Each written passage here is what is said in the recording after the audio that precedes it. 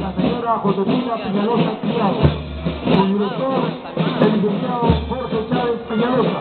Y su instructor, el señor Jorge Gómez Pérez. Alberga más de 300 estudiantes y cuenta con cuatro locales institucionales dentro de la ciudad satélite del distrito de Ventanilla. Desde sus inicios ha obtenido innumerables galardones, pero lo más importante,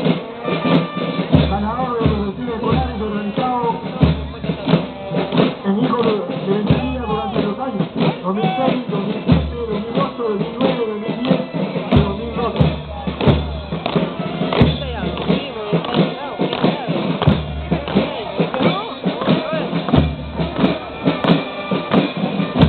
se acerca al Estado oficial, la institución